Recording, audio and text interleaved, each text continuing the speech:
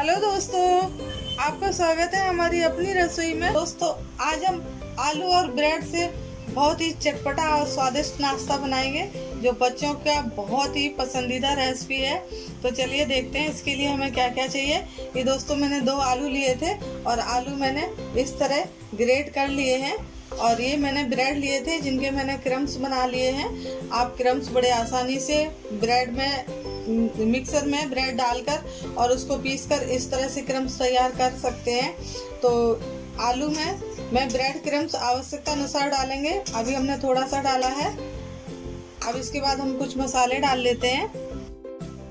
तो मसाले में दोस्तों, सबसे पहले हम नमक डालेंगे। और दोस्तों, एक चुटकी हम हल्दी डालेंगे और थोड़ी सी डालेंगे हम लाल मिर्ची।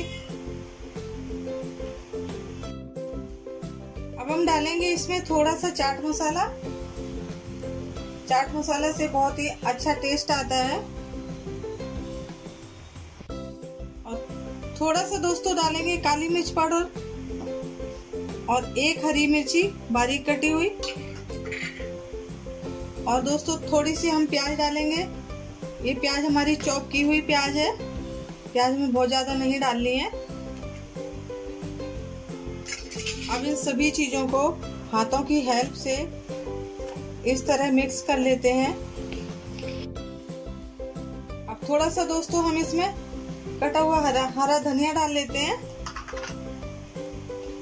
और एक बार इस तरह अच्छे से मसल मसल कर इसको एक डो के फॉर्म में तैयार करते हैं। अगर ये दोस्तों आपका बैटर आपको गीला लगे तो इसमें थोड़ा सा क्रम्स आप और डाल लीजिए।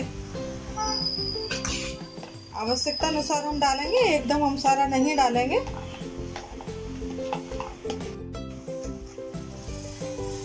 देखिए दोस्तों इस तरह एक दो फॉर्म में बनके तैयार हो गया है। ये बहुत ज़्यादा गीला भी नहीं है और बहुत ज़्यादा ढीला भी नहीं है। तो अब हम अपने हाथों को हल्का सा चिकना करेंगे। और थोड़ा सा इसमें से पार्ट उठाएँगे और इस तरह दबा दबा कर इस तरह हल्के से दबा दबा कर हल्के हाथों से इस तरह हम छोटे छोटे इसके बॉल तैयार करते हैं।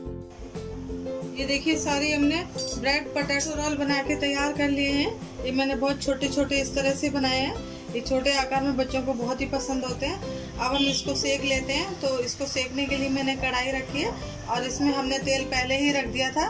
तेल हमारा गर्म हो चुका है। अब हम सावधानी से इनको डाल देते हैं। देखिए दोस्तों, अब हम इनको हल्के से हिला देते हैं। हमें इनको तुरंत नहीं पलटना है। थोड़ी देर बाद पलटना है, एक दो मिनट के बाद।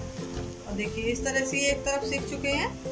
और ये चारों तरफ़ हम इनको हिला हिला के इसी तरह से गोल्डन ब्राउन होने तक इनको सेकेंगे। देखिए, आलू से बनकर हमारा नाश्ता तैयार हो गया है और ये सिक भी गया है। अब हम इसको निकाल लेते हैं और सर्व करते हैं। देखिए दोस्तों, आलू से हमारा कितनी जल्दी और झटपट नाश्ता बन के तैयार हो गया है। ये बहुत ही इजी है और इसको बहुत ही आसानी से आप कोई भी बना सकते हैं, इसको बच्चे भी बना सकते हैं। और अगर हमारी वीडियो अच्छी लगती है तो प्लीज़ मेरे चैनल को सब्सक्राइब करें। नई नोटिफिकेशन पाने के लिए और मेरे वीडियो को लाइक करें शेयर करें कमेंट करें। मिलते हैं नेक्स्ट अगली वीडियो में। तब तक के लिए धन्यवाद।